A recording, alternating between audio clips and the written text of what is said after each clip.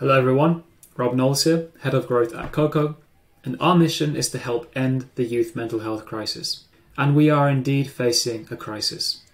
According to a study by the CDC, 22% of young people in the US have seriously considered attempting suicide. Now, it can take years for someone struggling with mental health to actually get help, and yet there are millions of young people reaching out for help right now on the platforms they use every day. But these platforms weren't designed to treat mental health. In fact, if anything, for many people, they can make things worse. Imagine though if all the millions of young people reaching out for help online actually got help. We could create the largest mental health intervention in history.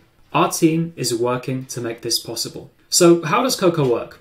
Let's imagine a young person, maybe they're 15, and they go online and they're searching for harmful mental health content online. Now, ordinarily, they might see dangerous content that can easily worsen a depressive episode. So, let me show you a different story. Imagine this person searches for this content again, but this time they don't see anything harmful. Instead, they're presented with the option to try Koko's peer support service or one of our many interventions. One click and they are on a completely different mental health trajectory. I'm going to pass over to one of our real users who's going to show you how our WhatsApp bot works. I've got to turn you guys on this peer to peer support chat called Koko because it's honestly something I've never seen before, and it's really been helping me feel less stressed about my life. Koko is completely free, which I love because I do therapy and that can be expensive sometimes, so it's nice to have more affordable options.